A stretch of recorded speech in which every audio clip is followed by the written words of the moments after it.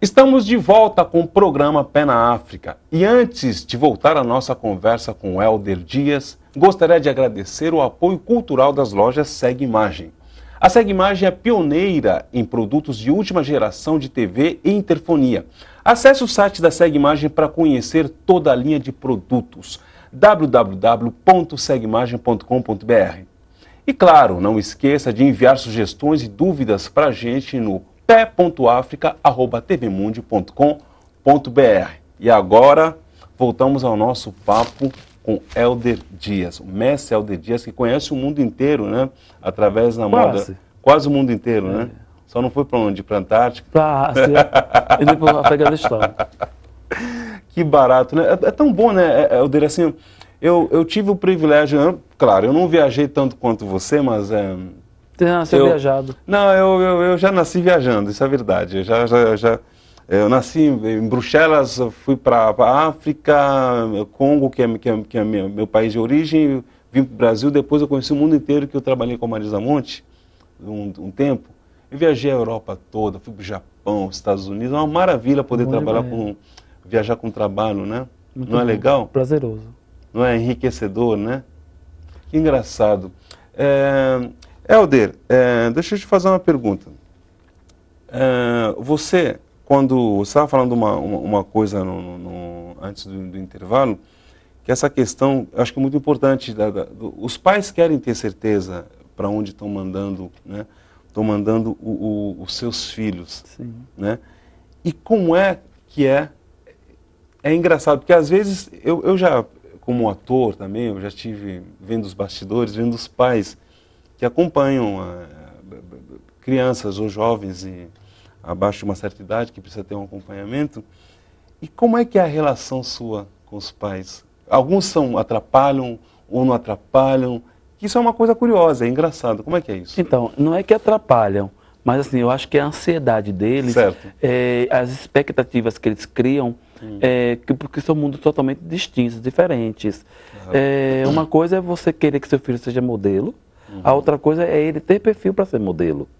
Ou estar preparado para atender essa expectativa. Então, quando o modelo chega, é, nós temos que falar a verdade, passar a informação correta, para que não se crie uma expectativa em cima de uma coisa que poderá acontecer ou não.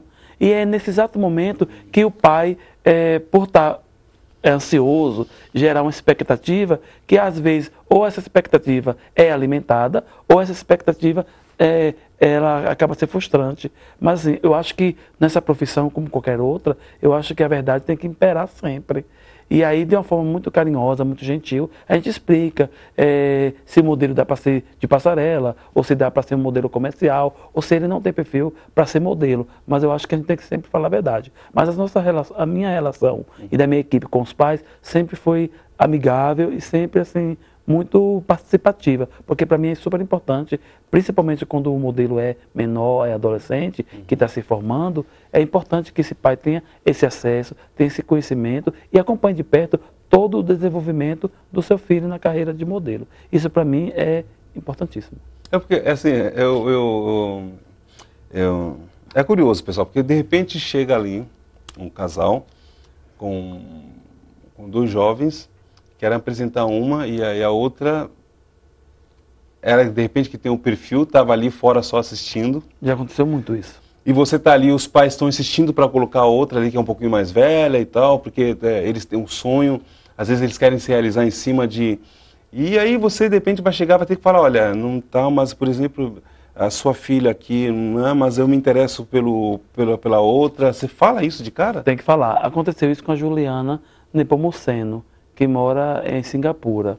Ela foi na agência com a cunhada, porque a cunhada queria se cadastrar. Certo. Aí eu deixei a cunhada dela na sala e fui na recepção perguntar quem era ela. Aí eu tô com ela, vem acompanhar. Ah, Ah, você não quer ser modelo? Ai, não, sou feia. Não, você não é feia. Você tem quantos anos? Tenho 13. Você não quer vir aqui com a sua mãe? Ah, minha mãe não vai querer vir, não. Traz ela aqui. Aí ela não veio, não foi.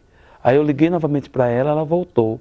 Aí ela veio com a mãe, a mãe expliquei para a mãe como é que funcionava, coloquei ela no curso, preparei tudo certinho. Com seis meses ela foi para o Japão, com 13 anos.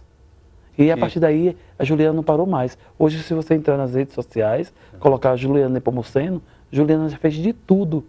E hoje fala mandarim, fala inglês, fala espanhol, fala italiano, vem ao Brasil visitar a mãe, ajuda a família. Hoje ela está com 18 anos. E assim, isso, isso que é gratificante. É você pegar uma menina que mora em periferia, que não tem nenhuma perspectiva, é, mostrar para ela que, que ela pode, é, investir nessa, nesse, nesse profissional, torná-la uma, uma modelo reconhecida no mundo e saber que ela pode ajudar a família e outras pessoas a partir daquela iniciativa de um agente que percebeu o valor dela e que lapidou, que transformou e que lançou no mercado. E em relação a, a um modelo que vai ser modelo, e na verdade a gente percebe que o outro que tem perfil, isso acontece com frequência. Mas a gente sempre explica, olha, não, a gente vai falar, vou falar com você, mas deixa, deixa eu dar uma analisada nela. Se ela não quer ser modelo, não, ela vai só acompanhar. Mas você acha que ela leva jeito? Ela leva. E na maioria das vezes, a pessoa que não queria ser modelo é que se torna uma grande modelo e na sua maioria, na maioria das vezes, elas acabam emplacando. Entendi. Isso, isso é muito comum. Entendi. É, é, Helder, me diga, você tem mais trabalhos com seus profissionais e as suas profissionais no Brasil ou fora do Brasil? Fora. Fora do Brasil? Fora. É, principalmente a moda. A moda fora do Brasil, é, ela consome mais, ela absorve mais o perfil dos modelos brasileiros. Por causa dessa diversidade, esse perfil é, de modelo só se encontra no Brasil. Essa diversidade, essa mistura, essa, é, é, esses vários tons né, é, da nossa etnia. Então, o mercado internacional, ele absorve mais os modelos negros.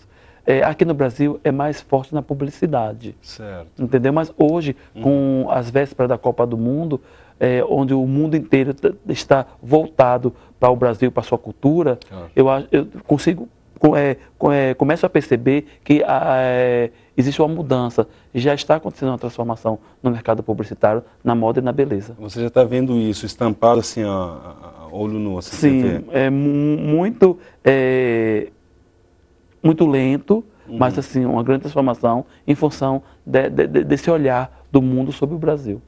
Porque, é... por que, que você afirma isso, você, é... você associa isso à questão da, da, da, Copa, assim, especificamente? Porque você acha que o, o, o, no exterior as pessoas têm uma visão que realmente o Brasil é um país miscigenado. Por exemplo, o filme Rio, você percebe que você percebe que ali no, no, desenho, é, a cara do brasileiro mesmo. Você vê que o brasileiro é miscigenado, você tem personagens negros, você tem, enfim. Você acha que o estrangeiro tem um olhar diferente do que às vezes o brasileiro, é, pondo aspas, né, de que tem o, o domínio da máquina é, de comunicação, quer vender a imagem? Lá fora, as pessoas têm uma imagem que o Brasil é miscigenado? Não. Lá, na, lá fora, o, os países estrangeiros têm a ideia de que o Brasil é um país de branco. E você vê isso retratado nas, nas novelas. Então, você, ah, você liga a TV. Você acha que isso tem um culpado, então? Sim. O Brasil, eu já falei em outras entrevistas, o Brasil não tem uma identidade própria. Ele precisa da fórmula de fora para retratar, para representar o seu produto aqui dentro. Porque eles, eles não sabem se vivemos numa, numa num país é, é, que tem uma democracia hum. e um país é, capitalista. Então eles precisam acertar nos seus produtos, naquilo que ele vende. Então, se o produto estrangeiro deu certo e vende, ele vai é, criar os seus moldes em cima de uma imagem europeia americana. A partir do momento que o Brasil passa a representar e a vender o seu produto de, de forma clara e, e, e representativa, é, mostrando ao mundo que o mundo que o Brasil é, uhum. ele começa a, a perceber que é, funciona. Então, como o Brasil vai sediar uma Copa do Mundo e as Olimpíadas, é fundamental que o mundo passe a conhecer o Brasil de verdade, o Brasil claro. de várias cores. Isso claro. só é possível através da comunicação, da mídia e da própria moda, que é um veículo que chega muito fácil é, em todas as, as casas. Então, eu acredito que é, essas transformações, essas mudanças venham ocorrendo em função dos investimentos que estão sendo feitos no, no país, porque a última Copa foi na África do Sul. Claro. Então, houve uma influência muito grande para o Brasil. Uhum. E se, se, isso for feito de forma diferente, não vai funcionar, porque o, o Brasil não é um país de branco.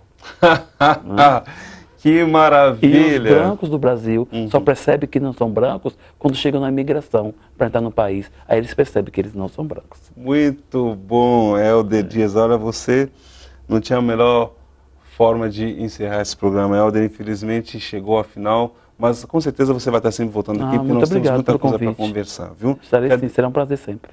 Quer deixar algum contato? Ah, o telefone da HDA é 11 3814 5005. Temos também na rede social Facebook, HDA Models. Entre lá, dê a sua sugestão. É um prazer sempre falar com vocês. Obrigado. Obrigado você. Pessoal, muito obrigado por nos assistirem. O programa Pé na África de hoje fica por aqui. Até a próxima.